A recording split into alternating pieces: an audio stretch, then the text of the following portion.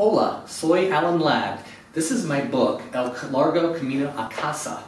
I hope you enjoy the story.